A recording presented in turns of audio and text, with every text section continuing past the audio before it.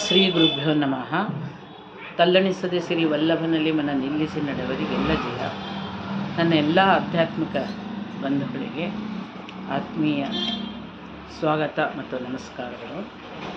ನಂದು ಎರಡು ಸಾವಿರದ ಹದಿಮೂರರಲ್ಲಿ ಒಂದು ಪುಸ್ತಕವನ್ನು ಬಿಡುಗಡೆ ಮಾಡಿದ್ದೆ. ಸಾಂಪ್ರದಾಯಿಕ ಗರ್ಭಿಣಿ ಸಂಸ್ಕಾರ ಅಂತ. ಅದು ಎರಡು ಎಪಿಸೋಡ್ ಅಂದರೆ ಎರಡು ಸಾವಿರ ಪುಸ್ತಕ ಖರ್ಚಾಯಿತು. ಸಾಕಷ್ಟು ಜನ ಬಹಳ ಅಭಿರುಚಿಯಿಂದ ತ ಈ ಗರ್ಭಿಣಿ ಸಂಸ್ಕಾರ ಸಾಂಪ್ರದಾಯಿಕವಾದದ್ದನ್ನು ಅಳವಡಿಸಿಕೊಂಡು ಅದು ಔಟ್ ಆಫ್ ಪ್ರಿಂಟ್ ಆಗಿತ್ತು. ಮೊನ್ನೆ ಕೆಲವು ದಿವಸಗಳ ಹಿಂದೆ ವ್ಯಾಸರಾಯ ಮಠದಲ್ಲಿ ಗರ್ಭಿಣಿ ಸಂಸ್ಕಾರದ ಬಗ್ಗೆ ಒಂದು ಕಾರ್ಯಕ್ರಮ ಮಾಡಿದ್ರು. ಅದು ಯೂಟ್ಯೂಬ್ನಲ್ಲಿ ಬಂದಾಗ ಬಹಳಷ್ಟು ಜನ ಅವುಗಳ ಆಸಕ್ತಿ ತೋರಿಸಿದ್ರು, ಕೇಳಿದರು, ಫೋನ್ ಮಾಡಿದರು, ಆ ಪುಸ್ತಕ ಬೇಕು ಅಂತ ಕೇಳಿದರು. ಬಹಳ ಸಂತೋಷದ ವಿಷಯ. ಅಂದರೆ ಎಲ್ಲರಿಗೂ ಧರ್ಮಾಸಕ್ತಿ, ಮತ್ತು ಸಂತತಿ ಒಳ್ಳೆಯ ಸಂತತಿ ಬರಲಿ ಅನ್ನೋ ಅಪೇಕ್ಷೆ ಎಲ್ಲರಿಗೂ ಇದೆ. ಮಾಡುವ ಅಭಿರುಚಿನೂ ಇದೆ, ಅವಕಾಶಗಳು ಇದೆ. ಇವತ್ತಿನ ಜನಾಂಗ ಮತ್ತೆ ಸಾಕಷ್ಟು ಆಧ್ಯಾತ್ಮಿಕದ ಒಲವು, ಆಚರಣೆ ಎಲ್ಲ ತೋರಿಸ್ತಾ ಇರೋದು. ಬಹಳ ಸಂತೋಷದ ಸಂಗತಿ, ಎಲ್ಲರಿಗೂ ಆ ಸಂಗತಿ. ಆ ಒಂದು ಪುಸ್ತಕ ನಾನು ಬಹಳಷ್ಟು ಜನಕ್ಕೆ ಹೇಳಿದ್ದೆ. ಅದು ಮುಂದೆ ಬರುತ್ತೆ, ಬಿಡುಗಡೆ ಆದಮೇಲೆ ನಿಮ್ಗೆ ತಿಳಿಸ್ತೀನಿ ಅಂತ ಈ ಮೂಲಕ ತಿಳಿಸ್ತಾ ಇದ್ದೀನಿ. ಇದು ಗರ್ಭಿಣಿಯರ ಸಾಂಪ್ರದಾಯಿಕ ಸಂಪ್ರದಾಯ ಪುಸ್ತಕ. ಬಿಡುಗಡೆ ಆಗಿದೆ. ಇದು ಎಲ್ರಿಗೂ ನೇರವಾಗಿ ಬಂದು ಕೊಂಡ್ಕೊಂಡು ನೋಡಿ ಸಾಧ್ಯ ಆಗುತ್ತೋ ಇಲ್ಲೋ ಇದರನ್ನು ಕೆಲವು ವಿಷಯಗಳನ್ನು ಈ ಮೂಲಕ ನಿಮಗೆ ಹೇಳೋಣ ಅನ್ನೋ ಒಂದು ಅಪೇಕ್ಷೆಯಿಂದ ಈಗ ನಿಮ್ಮ ಮುಂದೆ ಬಂದಿದ್ದೀನಿ. ಬೇಕು ಅಂತಂದವ್ರಿಗೆ ಪುಸ್ತಕಗಳು ಇವಾಗ ಸಿಗ್ತಾ ಇದೆ ಅಂತಲೂ ಹೇಳ್ತಾ ಇದ್ದೀನಿ. ಈ ಗರ್ಭಿಣಿಯರು, ಮೊದಲ ಗರ್ಭಿಣಿಯರು, ಮತ್ತು ಹಿಂದಿನಿಂದ ಅನೇಕ ಸಂಸ್ಕಾರ ಗರ್ಭಿಣಿಗೆ ಸಂಸ್ಕಾರಗಳು. ನಾವು ಪುರಾಣ ಇತಿಹಾಸದಲ್ಲೂ ನೋಡ್ತೀವಿ. ಗರ್ಭದಲ್ಲಿರುವಂಥ ಪ್ರಹ್ಲಾದ ರಾಜರಿಗೆ ನಾರದರ ಉಪದೇಶ, ಮತ್ತು ಇದು ಎಲ್ಲ ಕೇಳ್ತಾ ಬರ್ತೀವಿ. ಅಂದರೆ ಪಾಠ ಅಂತನ್ನೋದು ಸ್ಕೂ, ಹುಟ್ಟಿದ ಮೇಲೆ ಅಥವಾ ಸ್ಕೂಲಿಗೆ ಸೇರಿಸಿದ ಮೇಲೆ ಅಕ್ಷರಾಭ್ಯಾಸದ ಮೇಲೆ ಅಂತಲ್ಲ. ಗರ್ಭಗತ ಶಿಶುವಿಗೂ ಒಂದು ಪಾಠವನ್ನು ಹೇಳುವಂತಹ ಪದ್ಧತಿ. ಸಂಸ್ಕಾರ ಕೊಡುವಂಥದ್ದು, ಒಳ್ಳೊಳ್ಳೆ ಸಂಸ್ಕಾರ ಕೊಡುವಂಥ ಪದ್ಧತಿ ನಮ್ಮ ಭವ್ಯವಾದ ಸನಾತನ ಧರ್ಮದಲ್ಲಿ, ಶಾಸ್ತ್ರದಲ್ಲಿ ಇದೆ. ಅದನ್ನು ಸಾಕಷ್ಟು ಮಾಡ್ತಾ ಬಂದಿದ್ದಾರೆ. ಅದರ ಜೊತೆಗೆ ಕೆಲವೊಂದು ಕಾಲಮಾನದಿಂದ ಹಿರಿಯರ ಒಡನಾಟ ಕಡಿಮೆ ಆಗಿದ್ದರಿಂದ ಅಥವಾ ತಂದೆ ತಾಯಿಗಳ ಜೀವನದ ಶೈಲಿ ಬದಲಾವಣೆಯಾಗಿದ್ದರಿಂದ ಕೆಲವು ಕವಿಯೆಲ್ಲ ಮರೆ ಆಗ್ತಾ ಇದೆ. ಆದರೆ ಮತ್ತೆ ತಿಳ್ಕೊಂಡಿರೋರು ಅಷ್ಟೇ ಹುಮ್ಮಸ್ಸಿನಿಂದ ಮುಂದೆ ಬಂದು ಮಾಡ್ತಾ ಇರೋದು ಅನ್ನೋದ್ರಿಂದ ಸಂತೋಷ ಸುದ್ದಿ. ಅದಕ್ಕೆ ಈ ಮೂಲಕ ಇದರ ಬಗ್ಗೆ ನಾನು ಸಂಕ್ಷಿಪ್ತ ವಿವರಣೆಯನ್ನು ಕೊಡ್ತೀನಿ. ಬೇಕು ಅಂತಂದವರು ಪುಸ್ತಕವನ್ನು ಪಡಿಬೋದು ಅಂತ. ಸತ್ಸಂತಾನ ಎಲ್ಲರಿಗೂ ಬೇಕು. ಜೀವನ ಸುಖಮವಾಗಿ ಇರಬೇಕು. ಇದು ಎಲ್ಲರ ಅಪೇಕ್ಷೆ. ಅದಕ್ಕಾಗಿ ನಮ್ಮ ಪ್ರಯತ್ನವೂ ಬೇಕು ಅನ್ನೋದು ನಿಶ್ಚಯ. ಯಾವುದೇ ಒಂದು ಒಳ್ಳೆಯ ಫಲಿತಾಂಶ ಬರಬೇಕು ಅಂದರೆ ಅದರ ಹಿಂದೆ ನಮ್ಮ ಶ್ರಮ, ಬುದ್ಧಿ, ಹಣ ಎಲ್ಲನೂ ನಾವು ವ್ಯಯವನ್ನು ಮಾಡಬೇಕು, ವಿನಿಯೋಗವನ್ನು ಮಾಡಬೇಕು. ಹಾಗೆ ಹಾಗಾದರೆ ನಮಗೊಂದು ಒಳ್ಳೆಯ ಸಂತಾನ ಆಗಬೇಕು.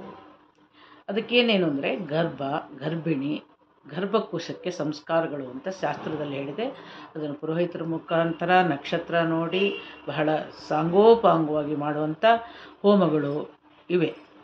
ಅದರ ಜೊತೆಗೆ ಮತ್ತೆ ಮತ್ತೆ ಸಾಂಪ್ರದಾಯಿಕವಾಗಿ ಮಾಡುವಂತಹ ಗರ್ಭಿಣಿಯ ಸಂಸ್ಕಾರಗಳು ನಮ್ಮ ಹಿಂದಿನಿಂದ ನಡೀತಾ ಬಂದಿದೆ. ಇವತ್ತು ನಡೀತಾ ಇದೆ. ಸಾಕಷ್ಟು ಜನ ಈ ಗರ್ಭಿಣಿ ಸಂಸ್ಕಾರವನ್ನು ಇವತ್ತು ಆಚರಣೆಯಲ್ಲಿ ಇಟ್ಕೊಂಡಿದ್ದಾರೆ. ತಿಳ್ಕೊಂಡವರು ತಿಳಿದವ್ರಿಗೆ ಹೇಳೋದ್ರಿಂದ ಇನ್ನಾದದ್ದು ಉಪಯೋಗ ಜಾಸ್ತಿ ಆಗುತ್ತೆ ಅನ್ನೋ ಒಂದು ಭಾವನೆಯಿಂದ ಇದನ್ನು ಹೇಳ್ತಾ ಇದ್ದೀನಿ. ಜ್ಞಾನ, ಆರೋಗ್ಯ, ದೀರ್ಘಾಯುಷ್ಯ, ಸು, ಸುಸಂಸ್ಕೃತ ಬದುಕು ಎಲ್ಲರಿಗೂ ಬೇಕು. ಇದು ಗರ್ಭದಿಂದಲೇ ಪಾಠ ಆರಂಭ ಆಗಬೇಕು. ಇದು ನಾ ಹೇಳಿದೆ ಪುರಾಣದಲ್ಲೂ ನೋಡ್ತೀವಿ ಇದನ್ನು ಹಾಗೆ ಅಂತ. ಈ ಸಂಸ್ಕಾರದಿಂದ ಜೀವಕ್ಕೆ ನಾವು ಹೇಳ್ತೀವಿ, ಜನ್ಮಾಂತರದ ಪುಣ್ಯ, ಜನ್ಮಾಂತರದ ಸಂಸ್ಕಾರ, ಇವಾಗ ನಾವು ನೋಡ್ತಾ ಇರ್ತೀವಿ, ಚಿಕ್ಕ ಮಕ್ಕಳಲ್ಲೇ ಅತ್ಯಂತ ಮೇಧಾವಿತನ, ಅತ್ಯಂತ ಪ್ರತಿಭೆ ಇರುತ್ತೆ. ಅದು ಹೇಗೆ ಅಂತಂದರೆ ಜನ್ಮಾಂತರದ್ದು ಬಂದದ್ದು ಅಂತ ನಾವು ಹೇಳೋದು ವಾಡಿಕೆ ಉಂಟು, ನೋಡ್ತೀವಿ, ಸಾಕಷ್ಟು ಜನನ ನೋಡ್ತೀವಿ. ಆದ್ದರಿಂದ ಹಾಗೆ ಬರಬೇಕಾದ್ರೆ ನಾವು ಗರ್ಭದಿಂದನೇ ಮತ್ತೆ ಸಂಸ್ಕಾರ ಕೊಡ್ತಾ ಹೋದರೆ ಅದು ಇನ್ನು ಜೀವಕ್ಕೆ ಒಳ್ಳೆಯ ಸಂಸ್ಕಾರ ಆಗತ್ತೆ. ಹಾಗಾದರೆ ಗರ್ಭಿಣಿಯರು ಒಂದಿಷ್ಟು ನಿಯಮಗಳನ್ನು ಪಾಲಿಸಬೇಕು. ಸಾಧಾರಣವಾಗಿ ಸಹಜ ಜೀವನಕ್ಕೂ ದಾಂಪತ್ಯ ಜೀವನಕ್ಕೆ ಕಾಲಿಟ್ಟಾಗಿನ ಅನೇಕ ಬ, ದೈಹಿಕ, ಮಾನಸಿಕ ಬದಲಾವಣೆಗಳು, ಹೊಂದಾಣಿಕೆಗಳು ಸಾಕಷ್ಟಿರುತ್ತವೆ. ಅದರ ಜೊತೆಗೆ ಗರ್ಭಿಣಿಯಾದಾಗ ಜೀವದಲ್ಲಿ ಜೀವ ಹುಟ್ಟಬೇಕು. ಮರದಲ್ಲಿ ಮರ ಹುಟ್ಟಿ ಮರ ಕ, ಹೇಳ್ತಾರೆ, ಅದನ್ನೊಂದು ಬಿಟ್ಟು ಹೇಳ್ತಾರೆ. ಹಾಗೆ ಒಂದು ಜೀವಕ್ಕೆ ಜೀವ ಕೊಡುವಂತಹ ಮಹಿಳೆಯ ಸ್ತ್ರೀಯ ತಾಯ್ತನದ ಒಂದು ದೊಡ್ಡ ಜವಾಬ್ದಾರಿ. ಹಾಗಾದರೆ ಆ ಜವಾಬ್ದಾರಿಯನ್ನೇ ನಾವು ನಿರ್ಭಯ ಸಮರ್ಪಕವಾಗಿ ನಿಭಾಯಿಸಬೇಕು. ಹಾಗಾದ್ರೆ ಏನೇನು ಅನ್ಬ ಅನುಸರಣೆ ಮಾಡಬೇಕು ಗರ್ಭಿಣಿಯರು? ಆ ಬಗ್ಗೆ ಒಂದಿಷ್ಟು ಇದನ್ನು ತಿಳ್ಕೊಳ್ಳೋಣ. ಮುಖ್ಯವಾಗಿ ಆಹಾರ ಪದ್ಧತಿ ಗರ್ಭಿಣಿಯರಿಗೆ. ಹಿತಮಿತವಾಗಿ, ಸಾತ್ವಿಕವಾಗಿ ಇರಬೇಕು. ಆಹಾರ ಅಂತನ್ನೋದು ನಾವು ಗರ್ಭಿಣಿಯರು ತಿಂದ ಆಹಾರನೇ ಗರ್ಭದಿರಗತಕ್ಕೂ ಮಗುಗೂ ಆಹಾರವಾಗಿ ಮಕ್ಕಳು ಬೆಳೆ ಮುಖಾಂತರ ಹೋಗುತ್ತೆ. ಈ ಆಹಾರವೇ ಸಪ್ತಧಾತುಗಳಾಗತ್ತೆ. ಅದರಲ್ಲಿ ಮನಸ್ಸು ಒಂದು, ಸೂಕ್ಷ್ಮವಾದ ಮನಸ್ಸನ್ನು ಪರಿವರ್ತನೆಯು ತಿನ್ನುವ ಆಹಾರದಿಂದ, ಗರ್ಭಿಣಿ ತಿನ್ನುವ ಆಹಾರದಿಂದ ಗರ್ಭಗತ ಶಿಶುವಿಗೆ ಹೋಗಿ ಆಗತ್ತೆ. ಹಾಗಾದರೆ ಹೇಗಿರಬೇಕು ಆಹಾರ? ಸಾತ್ವಿಕವಾಗಿರಬೇಕು. ಹಾಗಾದ್ರೆ ಸಾತ್ವಿಕತೆ ಅಂದ್ರೆ ಏನು ಅತಿಯಾದ ಬಿಸಿ ಇರಬಾರದು. ತುಂಬ ಫ್ರಿಜ್ಜಲ್ಲಿಟ್ಟಿರೋದು ತುಂಬ ಕೋಲ್ಡು ಐಸ್ ಕ್ರೀಮು ಈ ಥರದ ಆಹಾರಗಳನ್ನು ಅವರು ಸೇವನೆ ಮಾಡಬಾರ್ದು. ತೀಕ್ಷ್ಣ ಅಂದರೆ ಅತಿಯಾದ ಖಾರ, ಅತಿಯಾದ ಹುಳಿ, ಸಾಮಾನ್ಯವಾಗಿ ಬೈಕೆಗೆಯಲ್ಲಿ ಬಸ್ರಿನಲ್ಲಿ ಹುಳಿ, ಉಪ್ಪು, ಖಾರದ ತೀಕ್ಷ್ಣತೆ ಬಯಕೆ ಆಗತ್ತೆ, ಸಹಜ. ಆದ್ರೂ ಸಾಧ್ಯ ಆದಷ್ಟು ಅದನ್ನು ಸಾತ್ವಿಕ ಆಹಾರವಂತಹ ಮನಸ್ಸಿನಲ್ಲಿಟ್ಕೊಂಡು ಹೆಚ್ಚಿನ ತೀಕ್ಷ್ಣ ಆಹಾರ ತಗೊಳ್ದಂಗೆ ಹಿತಮಿತವಾದ ಆಹಾರವನ್ನು ನಾವು ಗರ್ಭಿಣಿಯರು ಸ್ವೀಕಾರ ಮಾಡಬೇಕು. ಇದನ್ನು ಗಮನದಲ್ಲಿ ಇಟ್ಕೋಬೇಕು ಇದು ಮುಖ್ಯ ವಿಷಯನೇ. ಗ ಹೆರಿಗೆ ಆಗೋವರೆಗೂ, ಮಗುವಿಗೆ ಜನ್ಮ ಕೊಡೋವರೆಗೂ ತನ್ನ ಆಹಾರದ ಉದ್ದೇಶ, ಗುರಿ ಹೇಗಿರಬೇಕಂದ್ರೆ ಮಗುವಿನ ಬೆಳವಣಿಗೆಯ, ಮಗುವಿನ ಹಿತದ ಕಡೆಗೆ ಗಮನ ಇರಬೇಕು ಇದು ಬಹಳ ಮುಖ್ಯ. ಆಮೇಲೆ ನಾವು ಶುದ್ಧ ವಾತಾವರಣ ಹೇಗಿರಬೇಕು ಅಂದರೆ ಶುದ್ಧವಾಗಿ ಇಟ್ಕೊಂಡಿರಬೇಕು. ಗಲೀಜು, ಗಜಿಬಿಜಿ, ಇದು ಎಲ್ಲ ಜಾಸ್ತಿ ಇರಬಾರ್ದು. ಶುದ್ಧವಾಗಿರಬೇಕು ಅಂದರೆ ಮನಸ್ಸಿನ ಒಳಗೆ ಹೊರಗೆ ಎರಡೂ ಶುದ್ಧವಾಗಿ ಇರಬೇಕು ಅಂತ. ಆ ಮನಸ್ಸು ಶುದ್ಧವಾಗಿದ್ದರೆ ಶಾಂತವಾಗಿದ್ದರೆ ಪ್ರಶಾಂತವಾಗಿದ್ದರೆ ಅದರ ಪ್ರಭಾವ ಗರ್ಭಗತ ಶಿಶುವಿನ ಮೇಲೂ ಬೀಳುತ್ತೆ. ಆಮೇಲೆ ಈ ಗರ್ಭರ ಗರ್ಭಿಣಿಯರು ಇವಾಗ ಮನೆಗಳಲ್ಲಿ ಹೊಚ್ಚಲೇ ಇರೋದಿಲ್ಲ, ಆ ಮಾತು ಬೇರೆ. ನಗರದ ಜೀವನದ ಮನೆಗಳ ಶೈಲಿನೇ ಬೇರೆ ಇದೆ. ಹಿಂದೆ ಎಲ್ಲ ದೊಡ್ಡ ದೊಡ್ಡ ಮನೆಗಳಿಗೆ ದೊಡ್ಡ ದೊಡ್ಡ ಹೊಚ್ಚಲುಗಳು, ತುಂಬಿದ ಗರ್ಭಿಣಿಯರು ದಾಟ್ಕೊಡೋಕ್ಕೆ ಆಗ್ತಾ ಇದ್ದಂಥ ದೊಡ್ಡ ದೊಡ್ಡ ಹೊಚ್ಚಲುಗಳಿರ್ತಾ ಇತ್ತು. ಇದು ಶಾಸ್ತ್ರದಲ್ಲಿ ಹಿಂದಿನವ್ರು ಹೇಳಿದ್ದನ್ನು ನಾನೀಗ ನಿಮಗೆ ಹೇಳ್ತಾ ಬರ್ತಾ ಇರೋದು. ಯಾವುದು ಹೊಂದಾಣಿಕೆ ಆಗುತ್ತೆ ಇವತ್ತಿನ ಒಂದು ಪ್ರಸ್ತುತ ಕಾಲಕ್ಕೆ, ಅದನ್ನು ಅನುಸರಿಸ್ಕೊಂಡು ಬರಬೇಕು. ಮನೆಯಲ್ಲಾಗದೇ ಇದ್ದರೂ ಹೊರಗಡೆ ಹೋದಲ್ಲಿ, ದೇವಸ್ಥಾನಗಳಲ್ಲಿ ಇದರಲ್ಲಿ ದೊಡ್ಡ ದೊಡ್ಡ ಹೊಚ್ಚಲುಗಳು ಇದ್ದೇ ಇರುತ್ತೆ. ಆದಷ್ಟು ಆ ಹೊಚ್ಚಲ ಮೇಲೆ, ಆಮೇಲೆ ಒರಳಕಲ್ ಮೇಲೆ, ಇದರ ಮೇಲೆ ಕೂತ್ಕೊಳ್ಬಾರ್ದು, ತುಳಿಬಾರ್ದು. ಮತ್ತು ದಾಟುವಾಗ ಬಹಳ ನಿಧಾನವಾಗಿ, ಬಹಳ ಜವಾಬ್ದಾರಿಯುತವಾಗಿ ಆ ಹೊಚ್ಚಲುಗಳನ್ನು ದಾಟಬೇಕು.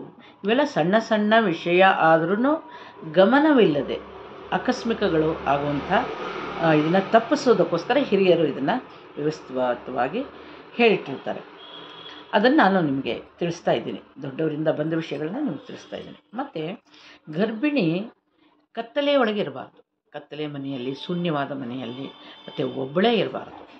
ಜೊತೆಗಾದಷ್ಟು ಬೇರೆಯವರ ಸಹವಾಸದಲ್ಲಿ ಬೇರೆಯವರ ಜೊತೆ ಜೊತೆಗೆ ಇರಬೇಕು ಅಂತ. ಅದು ಒಂದು ಮಾನಸಿನ ಶಾಂತಿ ಅಥವಾ ಭದ್ರತೆಯ ಲಕ್ಷಣ ಅದು. ಕತ್ತಲೆ ಮನೆಯೊಳಗಿರೋದು ಒಬ್ಬಳೇ ಇರೋದು, ಮಾಡಬಾರ್ದು ಅಂತನ್ನೋದು ಆಮೇಲೆ ಉಗುರುಗಳನ್ನು ಜಾಸ್ತಿ ಬೆಳೆಸಬಾರ್ದು. ಸೌಂದರ್ಯಕ್ಕೆ ಆಗಲಿ, ಇದಕ್ಕೆ ಆಗಲಿ, ಯಾವುದಕ್ಕೆ ಬೆಳೆಸಬಾರ್ದು. ಅದಕ್ಕೆ ಕಾರಣ ನಾನಾಕ ಇರುತ್ತೆ. ಇದು ಸೂಕ್ಷ್ಮತೆಯೂ ಇದೆ ಒಳಗಡೆ. ಅದನ್ನು ಬಾ, ಮಾಡಬಾರ್ದು ಅನ್ನೋದನ್ನು ಮಾಡದೇ ಇರೋದು ಬಹಳ ಒಳ್ಳೆಯದು ವಿವರಣೆ ಬೇಕಾದ್ರೆ ಬೇಕಾದಷ್ಟು ಕೊಡ್ಬೋದು ಇದನ್ನು. ಗರ್ಭಿಣಿಯರು ಉಗುರುಗಳನ್ನು ಜಾಸ್ತಿ ಬೆಳೆಸಬಾರ್ದು. ಮತ್ತು ಆದಷ್ಟು ಶಾಂತ ವಾತಾವರಣದಲ್ಲೇ ಇರಬೇಕು. ನೆಲದ ಮೇಲೆ ಮಲಗಬಾರ್ದು. ಅಂದರೆ ಬೆಚ್ಚಗೆ, ಹಾಸಿಗೆ ಮೇಲೆ ಅದು ಆರೋಗ್ಯಕ್ಕೂ ಆಯಿತು, ಮತ್ತು ಮಲಗಿದ ಮೇಲೆ ಎದ್ದು ಏಳುವಾಗ ಆಗುವ ತೊಂದರೆ ಬಗ್ಗೆನೂ ಆಯಿತು, ಸೂಕ್ಷ್ಮ ವಿಷಯ ಆದ್ದರಿಂದ ಈಗಿನ ವೈದ್ಯರು, ಡಾಕ್ಟ್ರು ಹೇಳುವ ಬೆಡ್ ರೆಸ್ಟು ಇದರ ಅವಶ್ಯಕತೆ ಇಲ್ಲದೆ ಆರೋಗ್ಯವಾಗಿರುವ ಗರ್ಭಿಣಿಯರಿಗೆ ಆರೋಗ್ಯವಾದ ಪ್ರಸವನೂ ಆಗತ್ತೆ. ಆದ್ದರಿಂದ ಆರೋಗ್ಯವಾಗಿರುವ ಗರ್ಭಿಣಿಯರಿಗೆ ಇದನ್ನು ಹೇಳ್ತಾ ಇರೋದು. ನೆಲದ ಮೇಲೆ ಮಲಗಬಾರ್ದು. ಹೆಚ್ಚು ಮಾತನಾಡಬಾರ್ದು. ಮತ್ತು ಕೆಟ್ಟ ಮಾತುಗಳನ್ನು ಆಡಬಾರ್ದು. ಆಡಿದ್ದನ್ನು ಕೇಳಿಸ್ಕೊಳ್ಳಬಾರ್ದು. ಎಲ್ಲಾನ ಒಂದು ಜಗಳ ಆಗ್ತಾ ಇತ್ತು, ಅಥವಾ ಇನ್ನೇನೋ ಒಂದು ಘಟನೆ ನಡೀತಾ ಇತ್ತು, ಕಠೋರತೆ ಇತ್ತು, ಅದನ್ನು ಆದಷ್ಟು ಅದರಿಂದ ದೂರ ಇರೋದು ಬಹಳ ಕ್ಷೇಮಕರ ಅಂತ. ಅದು ಮನಸ್ಸಿನ ಮೇಲೆ ಪರಿಣಾಮ ಬೀಳುತ್ತೆ, ಹಾಗೆ ಗರ್ಭದ ಮೇಲೂ ಪರಿಣಾಮ ಬೀಳುತ್ತೆ, ಅದರಿಂದ ದೂರ ಇರಬೇಕು ಅಂತ ಅನ್ನೋದು ಹಿರಿಯರ ಕಿವಿ ಮಾತು ಆಮೇಲೆ ಗರ್ಭಿಣಿಯರಿದ್ದಾಗ ಪ್ರತಿ ತಿಂಗಳೂ ಒಂದೊಂದು ದಾನವನ್ನು ಕೊಡಬೇಕು, ಒಂದೊಂದು ಮಂತ್ರವನ್ನು ಪಠನೆ ಮಾಡಬೇಕು. ಇದನ್ನು ನಾನು ಮುಂದಿನ ಇದರಲ್ಲಿ ನಿಮಗೆ ದಾನದ ವಿಷಯವನ್ನು ವಿವರವಾಗಿ ಹೇಳ್ತೀನಿ. ಮಂತ್ರಗಳನ್ನು ಯಾವ ಯಾವ ತಿಂಗಳಲ್ಲಿ ಯಾವ್ಯಾವ ಮಂತ್ರಗಳನ್ನು ಹೇಳ್ಕೋಬೇಕು ಅಂತ ಅನ್ನೋ ವಿಷಯನ ನಾನು ಮುಂದೆ ಹೇಳ್ತಾ ಬರ್ತೀನಂತೆ. ಆ ದಾನದ ಬಗ್ಗೆ, ಇದ್ರ ಬಗ್ಗೆ ಗಮನ ಇಟ್ಕೊಂಡು ಮಾಡಿದರೆ ಸತ್ಸಂತಾನ ಆಗತ್ತೆ ಅಂತ. ಮತ್ತು ತುಂಬ ಬಿಸಿನೀರಿನಿಂದ ಸ್ನಾನ ಮಾಡಬಾರ್ದು. ಹದವಾದ ನೀರಿರಬೇಕು. ತಣ್ಣೀರಿನ ಸ್ನಾನನೂ ಮಾಡಬಾರ್ದು. ಅಂದರೆ ಇಲ್ಲಿ ಒಟ್ಟಾರೆ ಹಿತಮಿತವಾಗಿರಬೇಕು ಅಂತ ಅನ್ನೋದು ಎಲ್ಲ ಹೇಳಿಕೆಯ ಹಿನ್ನೆಲೆ ಇಲ್ಲಿ. ತುಂಬ ಬಿಸಿಯಾದ ನೀರು ಅಥವಾ ತುಂಬ ತಣ್ಣಗನ ನೀರನ್ನ ಸ್ನಾನ ಮಾಡಬಾರ್ದು ಅಂತ. ಮತ್ತು ಏಳನೇ ತಿಂಗಳವರೆಗೂ ಅದು ಗರ್ಭ, ಮೂರು, ನಾಲ್ಕನೇ ತಿಂಗಳಿಂದನೇ ಒಂದೊಂದೇ ಅಂಗಾಂಗಗಳು ಬೆಳೆಯುತ್ತೆ, ಸಪ್ತಧಾತುಗಳು ಬೆಳೆಯುತ್ತೆ. ಅದ್ರ ಜೀವಕ್ಕೆ ಈ ಬಾಹ್ಯದ ಪ್ರಪಂಚದ ಹೊರಗಡೆಯ ಸ್ಪಂದನೆ ಕೂಡ ಶುರುವಾಗಿರುತ್ತೆ. ಆವಾಗ ಸದಾ ಒಳ್ಳೆ ಶ್ರವಣ ಮಾಡ್ತಿರ್ಬೇಕು. ಸಂಗೀತ ಆಗಿರ್ಬೋದು, ಪುರಾಣ ಆಗಿರ್ಬೋದು, ಒಳ್ಳೆ ಕಥೆಗಳಾಗಿರ್ಬೋದು. ಅದನ್ನು ನೋಡ್ತಾ, ಕೇಳ್ತಾ, ಶ್ರವಣ ಮಾಡ್ತಾ ಇರಬೇಕು. ಬೇರೆ ಯಾವುದೇ ಒಂದು ಪತ್ತೇದಾರಿ ಕಾದಂಬರಿನೋ, ಇತ್ತೀಚೆಗೆ ಪೇಪರ್ಗಳಲ್ಲಿನ ಘೋರ ವಿಷಯಗಳನ್ನು ಆ ಕಡೆ ಎಲ್ಲ ಹೆಚ್ಚಿನ ಗಮನ ಕೊಡದೆ ಆದಷ್ಟು ಸಾತ್ವಿಕವಾದ ಶ್ರವಣವನ್ನು ಮಾಡ್ತಾ ಇರಬೇಕು. ಸಾಧ್ಯ ಆದರೆ ಪ್ರತಿ ದಿವಸನೂ ಒಂದು ಬ್ರಾಹ್ಮಣರ ಮುಖೆಯಿಂದ ಅಥವಾ ಸುವಾಸನೆ ಮುಖೆಯಿಂದ ಸಂಗೀತ ಕೇಳಬೇಕು. ಆ ಸಂಗೀತದಲ್ಲಿ ಒಂದು ಅದ್ಭುತವಾದ ಶಕ್ತಿ ಇದೆ. ಆ ಸಂಗೀತ ಸ, ಗಾನವನ್ನು ಗರ್ಭಿಣಿಯರು ಕೇಳೋದ್ರಿಂದ ಆ ನಾದದಿಂದ ಕೆಲವು ಸಂಸ್ಕಾರಗಳು ಸಿಕ್ಕತ್ತೆ. ಮಗುವಿನ, ಗರ್ಭವತಿ ಮಗುವಿಗೆ ಒಂದು ಒಳ್ಳೆಯ ಸಂಸ್ಕಾರ ಆಗುತ್ತೆ ಅಂತ ಅನ್ನೋದನ್ನು ಹೇಳ್ತಾರೆ ಇವರು. ಆಮೇಲೆ ಹೆಚ್ಚಿನ ಪ್ರಯಾಣ ಮಾಡಬಾರ್ದು. ಆದಷ್ಟು ಹಿತಮಿತವಾದ ಯಾಕಂದರೆ ಪ್ರಯಾಣ ಅಂತಂದರೆ ಬೇಗ ಹೋಗೋದು, ತಡೆಯೋದು, ಅಥವಾ ಏನೋ ಒಂದು ಅಪ್ರಸಂಗ ಪ್ರ- ಪ್ರಾಸಂಗಿಕವಾಗಿ ತಡ ಆಗೋದು ಗಂಟೆಗಟ್ಟಲೆ ತಡ ಆಗೋದು ಕಾಯೋದು, ಈ ಥರದ ಪ್ರಸಂಗ ಎಲ್ಲ ಬರುವಂಥ ಸಾಧ್ಯತೆ ಜಾಸ್ತಿ ಇರುತ್ತೆ. ಒಂದೇ ಸಮ ನಾವು ಅಂದ್ಕೊಂಡಂಗೆ ಆಗಲ್ಲ. ವಿಮಾನಗಳು ಕೂಡ ಆರಾರು ತಾಸು ಎಂಟು ತಾಸು ಲೇಟಾಗಿ ಬರೋದನ್ನು ನಾವು ಇವಾಗ ಕೇಳ್ತೀವಿ. ಎಲ್ಲ ವ್ಯವಸ್ಥೆನೂ ಹಾಗೆ ಇರೋದ್ರಿಂದ ಆದಷ್ಟು ಪ್ರಯಾಣವನ್ನೇ ಕಡಿಮೆ ಮಾಡ್ಕೋಬೇಕು. ಅನಿವಾರ್ಯ ಟೈಮ್ದಲ್ಲಿ ಮಾತ್ರ ಪ್ರಯಾಣ ಮಾಡಬೇಕು ಅಂತ. ಆದರೆ ಶಾಸ್ತ್ರ ಹೇಳುತ್ತೆ, ಆಷಾಢ ಮಾಸದಲ್ಲಂತೂ ಗರ್ಭಿಣಿಯರು ಪ್ರಯಾಣನೇ ಮಾಡಬಾರ್ದು ಅಂತ. ಆ ಶಾಸ್ತ್ರದ ಹೇಳಿದೆ ಅಂದಮೇಲೆ ಅದಕ್ಕೆ ಹಿನ್ನೆಲೆ ಇದ್ದೇ ಇರುತ್ತೆ.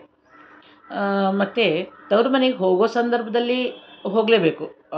ಎಂಟನೇ ತಿಂಗಳು ಏಳನೇ ತಿಂಗಳಲ್ಲೂ ಅವರವರ ಅನುಕೂಲಕ್ಕೆ ಆ ಹೆರಿಗೆಗೆ ಅಂತ ಹೋಗ್ಬೇಕಾದ್ರೆ ಒಂದು ಒಳ್ಳೆಯ ಮುಹೂರ್ತದಲ್ಲಿ ಒಳ್ಳೆಯ ಭದ್ರತೆಯಲ್ಲಿ ಹಿರಿಯರ ಜೊತೆಗೆ ಸೇರಿ ಒಬ್ಬರೇ ಹೋಗೋದು ಒಬ್ಬಳನ್ನೇ ಕಳಿಸೋದು, ಈ ಥರದ ಒಂದು ಅವ್ಯವಸ್ಥೆ ಇಲ್ದಂಗೆ ಸುಖಕರವಾದ ಪ್ರಯಾಣವನ್ನು ಗರ್ಭಿಣಿಯವರಿಗೆ ಮಾಡಲಿಕ್ಕೆ ಸಾಧ್ಯವನ್ನು ಅನುಕೂಲ ಮಾಡಿಕೊಡ್ಬೇಕು. ಆಮೇಲೆ ಯಾವುದೇ ಕಾರಣಕ್ಕೆ, ಯಾವುದೇ ವಿಷಯಕ್ಕೆ ಅತಿಯಾದ ಉದ್ವೇಗ ಅತಿ ಸಂತೋಷ, ಅತಿ ದುಃಖ ಎರಡೂ ತಪ್ಪು. ಸಮಚಿತ್ತವನ್ನು ಕಾಪಾಡ್ಕೋಬೇಕು.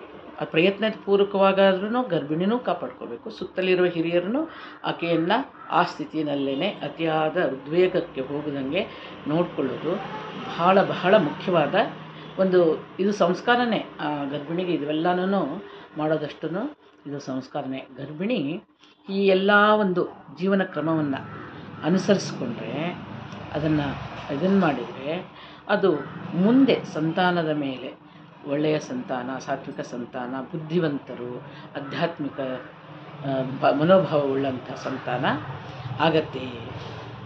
ಆಮೇಲೆ ಈ ಸಂತಾನ ಆಗಬೇಕು ಅಂತನೋ ಅಪೇಕ್ಷೆ ಇರುತ್ತೆ. ಒಳ್ಳೆಯ ಸಂತಾನ ಆಗಬೇಕು ಅಂತನೋ ಅಪೇಕ್ಷೆ ಇರುತ್ತೆ.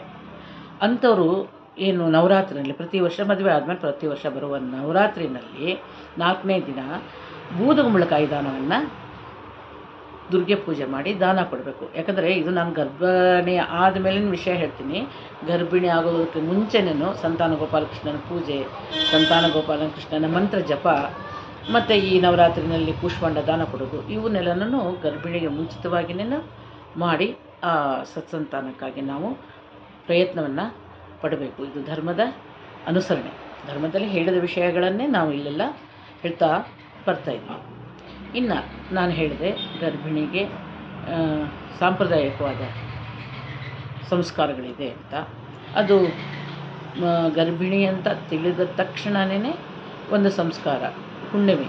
ಪ್ರತಿ ಹುಣ್ಣಿಮೆ ತಿಳಿದಂದಿನ ಹುಣ್ಣಿಮೆಯಿಂದ ಪೂರ್ಣ ಚಂದ್ರ ಬಿಂಬ ಕ್ಷೀರಪಾನ ಏನು? ಪೂರ್ಣ ಚಂದ್ರ ಬಿಂಬ ಕ್ಷೀರಪಾನ ಹುಣ್ಣಿಮೆ ದಿವಸ ಮಾಡಿಸ್ಬೇಕು.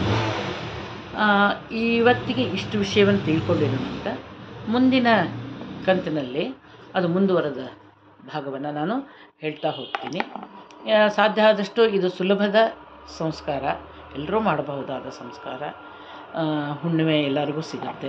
ಚಂದಪ್ಪ, ಚಂದ್ರ ಎಲ್ಲರಿಗೂ ಓಪನಲ್ಲಿದ್ದಾನೆ ನಮ್ಗೆ ಸಿಗತ್ತೆ, ನಿಮ್ಗೆ ಸಿಗತ್ತೆ ಅನ್ನಿಲ್ಲ.